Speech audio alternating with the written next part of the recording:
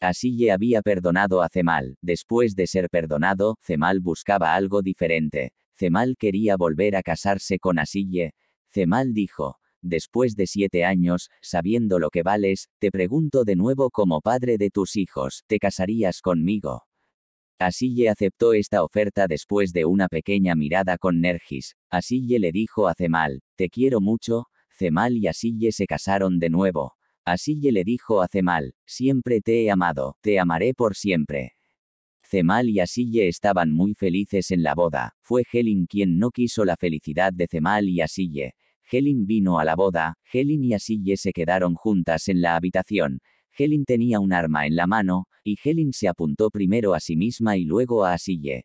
¿Qué hará Elena? Creo que Helin se va a suicidar. No olvides suscribirte y dar me gusta al vídeo para ver más videos como este. Gracias por ver.